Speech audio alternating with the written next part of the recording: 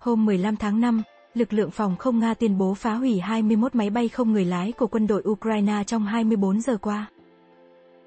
Người phát ngôn Bộ Quốc phòng, Trung tướng Igor Konasenkov cho biết 21 máy bay không người lái Ukraine đã bị phá hủy tại các khu vực gần các khu định cư Novopokrovka, Vodianoi và Rabotino ở vùng Zaporizhia, Lyubimovka và Novaya Kakhovka ở vùng Kherson, Golovka, Pesky và Volodino ở Cộng hòa Nhân dân Donetsk, Kremenaya và Novokrasnyanka ở Cộng hòa Nhân dân Lugan.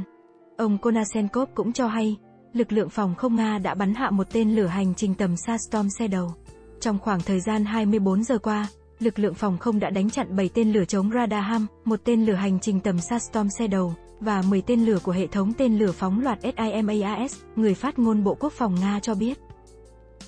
Theo ông Konasenkov, quân đội Nga tiếp tục tấn công ở phía tây Atyomov. Bên cạnh đó, lực lượng không quân và pháo binh tác chiến, chiến thuật của quân đội Nga đã tấn công các đơn vị đối phương ở các khu vực gần khu định cư Kazovia và Bogdanovka ở Cộng hòa Nhân dân Donetsk. Cập nhật của người phát ngôn Bộ Quốc phòng Nga cho hay, máy bay chiến đấu của Nga đã bắn hạ hai trực thăng quân sự của Ukraine tại Cộng hòa Nhân dân Donetsk. Máy bay chiến đấu của lực lượng hàng không vũ trụ Nga đã bắn hạ các trực thăng Mi-24 và Mi-8 của không quân Ukraine gần các khu định cư Selidovo và Brusovka ở Cộng hòa Nhân dân Donetsk, người phát ngôn Konasenkov nói.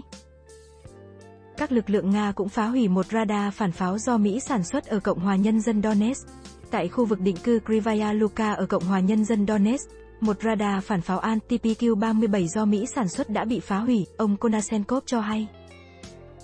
Theo người phát ngôn Bộ Quốc phòng Nga, lực lượng tác chiến chiến thuật và lục quân, lực lượng tên lửa và pháo binh của Nga đã tấn công 68 đơn vị pháo binh Ukraine.